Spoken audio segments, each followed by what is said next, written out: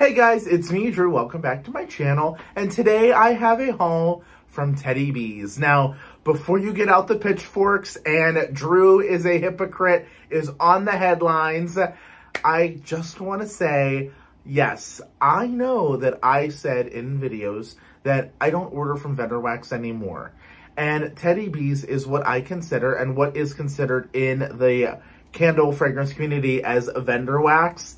And vendor wax essentially is more like independent brands creating wax. And you have seen over the years, if you're in this community, vendors are closing left and right. New vendors are popping up all the time. And let me tell you, I really don't watch a lot of vendor wax videos. Sure, if some of my favorite YouTubers talk about, you know, a vendor wax. I'm not going to like fast forward through the video or, you know, not watch. I'll still watch and, you know, I'm still like up to date on what's going on for the most part in the vendor wax world. But when my friend Elizabeth Quinn over on Elizabeth Scenes and Scents, which if you don't watch her on YouTube, what are you waiting for? She's a Scentsy consultant and she is amazing. Like she has such a bubbly personality. She is so creative and she has such a home decor style that I resonate with. That is why I like to follow her. And she's a great Scentsy consultant. But she was talking about teddy bees and she got into teddy bees and especially she likes it because of the complexity of of uh, Tiffany, the owner's wax, and and stuff like and you know the fragrance combinations and the soft throw because Teddy Bees to me and the problem that I have with a lot of vendor wax is it's just simply not strong enough. And that's why I love Scentsy. I have a ton of Scentsy warmers and I like my Scentsy wax. But there are few exceptions to the rule or to, how do I want to say this? There's few exceptions that they, you know, don't need to be super strong to be enjoyable. And that's something that I find a lot with Teddy Bees. Her scents are beautiful. They're not going to knock you out of the house, but whenever they're going, they're really pretty and her blends are very complex. So I was watching, I was watching and I knew there was a pre-order coming up and I was watching, you know, her video, etc. And I was like, wait, you earn points with Teddy Bees. So I went on my account and I saw that I had enough for a pretty good gift card. And I was like, all right, I said I wasn't going to order vendor wax anymore. I'm probably going to be, you know, ripped to shreds because I changed my mind, you know. Anyway, I I don't get into that. I don't associate with any of those people anymore. But I was like, I'm just going to place an order, use my gift card, and call it a day. So I placed an order, and something that I think is super unique about Teddy Bees, so many vendors blend like uh, chocolate chip, chip cookie, caramel, salt, butter pecan, butter pecan waffle, waffle cookie, cookie dough. Like, they just blend so much together, and it just becomes like, muh, like mush, you know? Where Teddy Bees and Tiffany, she really sits and thinks about the blends, and every one is super unique. And even though I love bakery, I'm more into more woodsy, more I love Palo Santo. You're going to see a lot of Palo Santo here. And I essentially just wanted to order things that will work great in my bedroom. I don't melt a lot of like this type of wax in my open concept. It gets lost there. So I ordered a lot of fragrances that I think will be great for my bedroom. My bedroom performs so well with wax and candles, etc. So I essentially bought these things so I could melt them in my bedroom. Now, she does include a little thank you card for when you place an order. It has all her social medias. And then on the back, it says, your order is here. Here are some tips to get the best experience out of your wax. Number one, cure time. So you hear a lot about cure time in the industry. What is cure time? So cure time, essentially, let your wax sit. Because when this stuff is freshly poured and there are pour dates on the lids, you are able to, um, it's freshly poured. So it doesn't cure yet. So essentially the oils blend with the wax molecules, like the fragrance oils. So if you let it sit for a little while, it'll get stronger. You know, it's essentially just freshly made and it needs to marinate essentially. So she puts, for best throw, I recommend letting your wax cure for two weeks past the date on the label. Bakery especially can benefit from a longer cure time. Number two, warmers. My favorite types of warmers are 17 to 25 watt hot plate warmers and 25 watt halogen warmers. The more warmers, the better, especially in open floor plans. Number three, placement. Keep out of way of fans, AC airflow, open windows. Ceiling fans can hinder the throw potential by preventing the wax from reaching optimal temperatures. Number four, now this is one, I'm gonna try this because I never really listened to number four with Teddy Bees, but she keeps recommending it. I'm gonna try it. She puts, I would not recommend using more than half an ounce of wax per warmer. Half of a sample cup is the about is about the size you want. So she includes a little sample with every order, and she thinks that half of a cent of a sample cup is the amount of wax you should use in a warmer. That's a tiny amount. And I just feel like if I do that, it'll throw for like 40 minutes and then it's gone because it's not enough wax. It burns up the oil faster. But I'm going to listen and I'm going to try all of these that way to see. That's how the vendor recommends. That's how I'm going to try. And then number five, changing your scent. To switch out to a new scent, place three cotton balls in your wax dish until wax is absorbed, then throw them away. I change my wax every four to six hours when I'm home. Always turn off your warmers when you leave. So I love that she included a little safety and care card with her order. This makes it look really like, you know, a business and not like a just mom and pop shop. I think this is really nice. And that's another thing that I really like about Teddy Bees versus a lot of other vendors. I like Scentsy because of the simplicity. You can open a clamshell, pop out a few cubes, call it a day. I like that these tubs are neat and organized. Unlike the bags, where once you start cutting it up and stuff, the bag gets all smudgy and wrinkly, where these tubs, they can just sit and they're super organized and it just is a lot cleaner of a look. So those are a few things. That's my justification, even though I don't need to justify to anyone. I did want to say, yes, I know I said I wasn't ordering from Wax anymore. And believe me, I'm not in the Facebook groups. I'm not, you know, thinking like, oh, now this is my trigger. This is my go. I'm going to start ordering all of it. After growing a lot and, you know, I have my own space and just maturing over the past couple years, like I've learned that more is not always best. And, you know, after getting rid of a lot of that vendor wax, it's nice to just enjoy what I have and not feel overwhelmed. I feel the same way with Scentsy. I just have so much that I really want to use up, and it feels good to use up a bunch of clamshells. If you don't look or watch the videos, you know, or feel, you know, the FOMO, then, you know, it's nice to be like, oh, I used 20 clams this month, but I didn't bring in like 45, you know, to cancel out. So it feels good to do that. Now, all right, without all of the rambling and that's all out of the way, let's get into the haul. I have stated that the main reason for this order was Elizabeth Quinn from Elizabeth Scenes and Scents. And in the Facebook group, I am in the Teddy Bees Facebook group for obvious reasons. I wanted to check out the orders. I wanted to check out, you know, shipment updates, etc.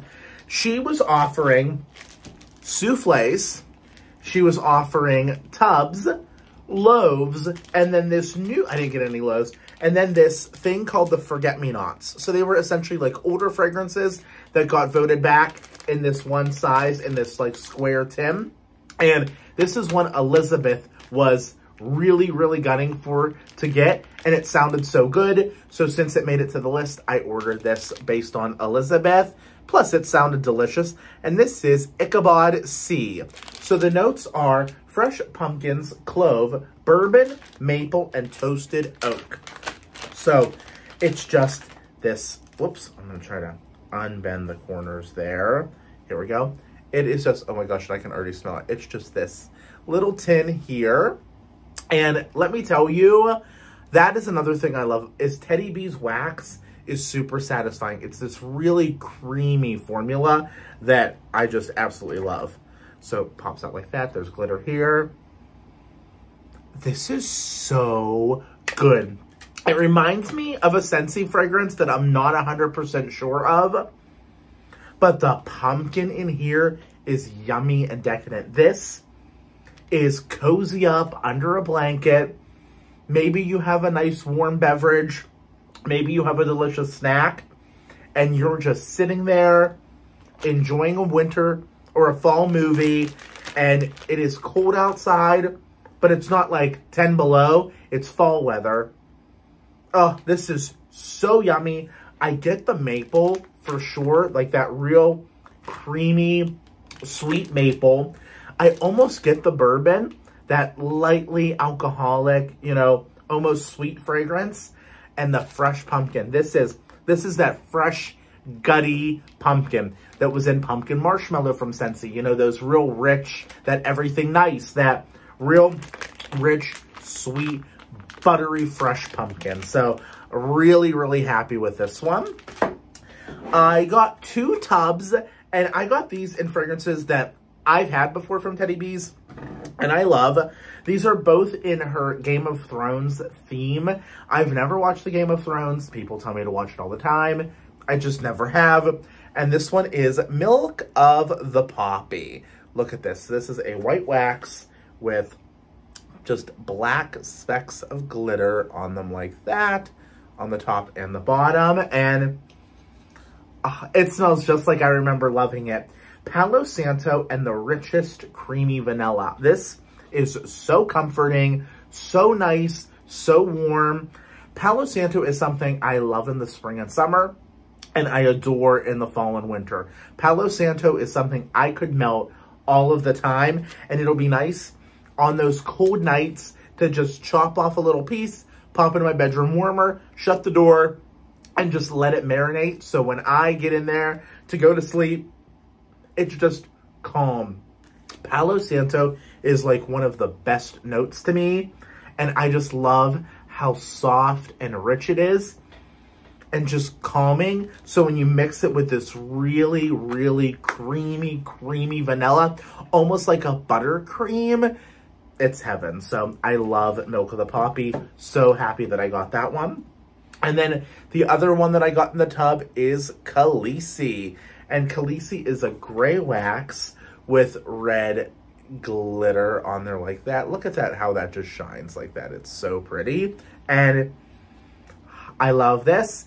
Palo Santo Tonka Bean, Oud Wood, Warm Vanilla Sugar, and Fireside. So some more warm and smoky scents in here, but this is just really soft. I've had it before, but I honestly don't remember if I melted it or not. I might have just destashed it when I was like over vendor wax, but man, this is good. This is slightly perfumey from the warm vanilla sugar and the fireside, but then you have that sweetness of that tonka bean, which tonka bean can lean a little vanilla because of how creamy it is. Oh, I love this. Love, love, love. This is so good. This is also slightly smoky. The fireside, though, has that smokiness, but the warm vanilla sugar and the Palo Santo mellow that down to create this smooth, rich, warm, smoky fragrance. I love. Next are the souffles. The first one I got is in God's Woods, also from the Game of Thrones collection. Palo Santo, Birchwood Pine, and Vanilla Balsam. Now, I'm not a Christmas tree scent person, if you remember, but Vanilla Balsam is such an exception because, again, the vanilla in the Vanilla Balsam is like that buttercream. It's that rich, creamy, creamy vanilla. And I smell Vanilla Balsam in here more than anything. I'm not really getting Palo Santo much, and this is like real Christmassy. It's white with gold and red glitter, or is it green? Oh, it's green, silver, and red glitter, but it's very subtle. Yeah, this is nice. I totally am just getting the Vanilla Balsam, that real creamy, like Christmas tree fragrance. And Birchwood Pine, I don't know if that's like the Nest Fragrances dupe, because I know they have a fragrance Birchwood Pine. And birch has that like real crisp, fresh wood almost. Yeah, I love this. This will definitely be sitting and melting during the holidays, especially with that Christmas tree note. Love that. Next is I Heart Vanilla Tobacco. Now, I don't know if you remember when I was doing vendor wax, uh, Tiffany has I Heart fragrances, which is like a super creamy, rich vanilla, and then she blends it with things. I Heart Spiced, I Heart Vanilla Spiced Apples was my favorite. I loved I Heart Vanilla Spiced Apples. It ended up being the number one that pre-order whenever it was like real big and a thing. And that is one that is on my radar though, that if it does come back, I will order more because I do miss that. And that is something that I melted all of because it was so pretty. But this is I Heart Vanilla Tobacco. And the notes are creamy vanilla marshmallow, vanilla milkshake, boardwalk marshmallow clouds, sweet tobacco leaves, cherry wood, and a pinch of honey. So we have that rich, creamy vanilla concoction that she created with vanilla tobacco. I love, I love, uh, now it's tobacco, but it's not cigarette smoke. It's that sweet cherry tobacco that I feel like if you walked into a cigar shop, you would leave and that's the fragrance that would linger in the air.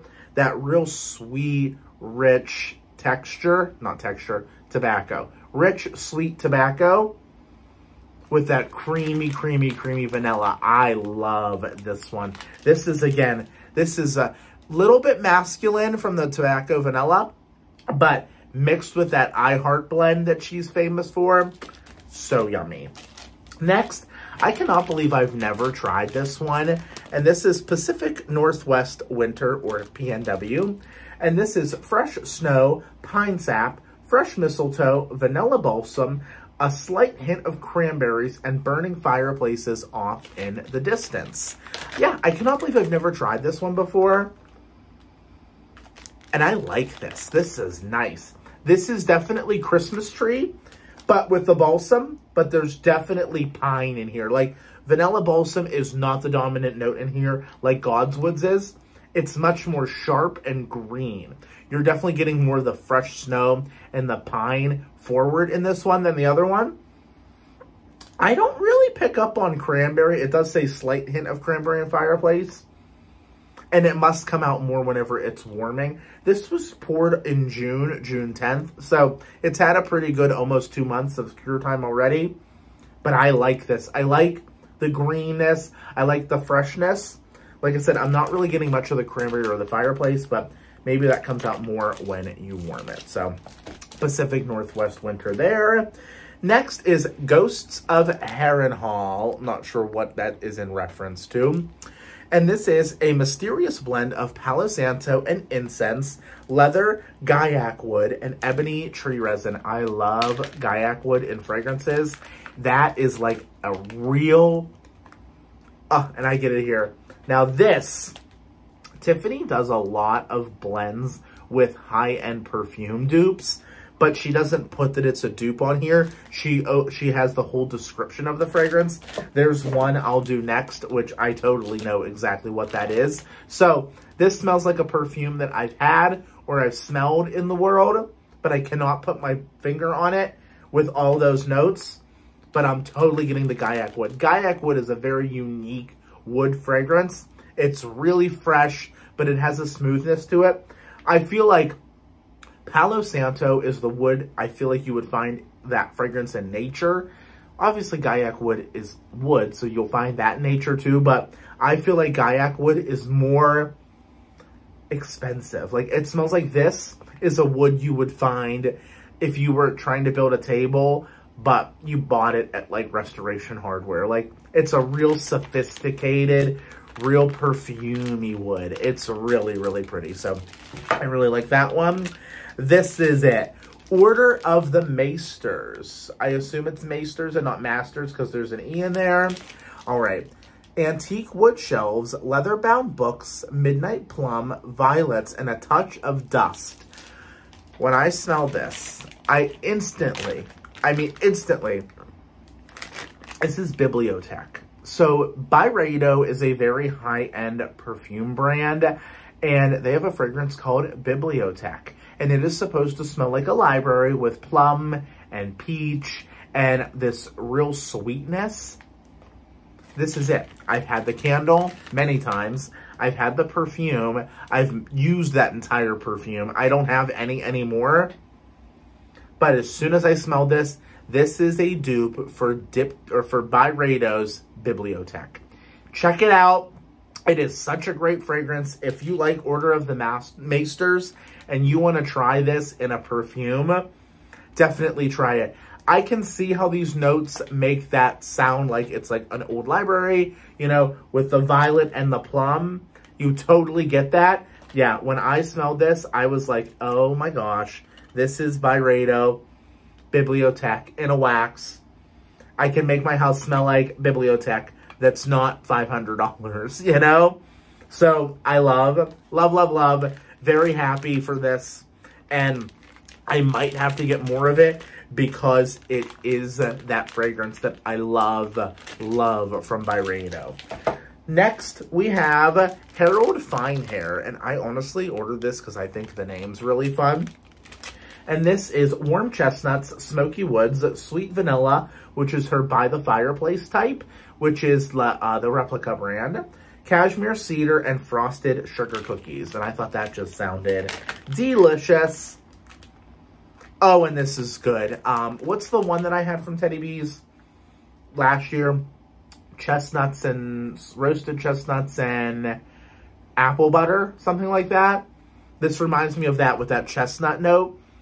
This is sweet. This is sweet. And you wouldn't think from all the notes that it would be super sweet, but that frosted sugar cookie is definitely dominant in here. But it doesn't like mellow out or water down any of the other notes in here. It is woody. It is fresh, but that frosted sugar cookie is definitely in the forefront. It's almost like those like uh, Lofthouse cookies. Oh, but it's delicious. I really like this. Really happy for it. I think this will be another great when I melt it in the bedroom, um, like comforting bakery scent, but not like super sweet. Next is Michael. I watched Elizabeth's video and she was raving about this and I feel like this is one I've had in the past, but I don't remember. Vanilla Birch, Mahogany Vanilla, and Smooth Marshmallow Cream. Again, sounds delish. And it is. Wow, it is I get the mahogany vanilla and vanilla. I don't get vanilla birch right away. I get mahogany vanilla right away.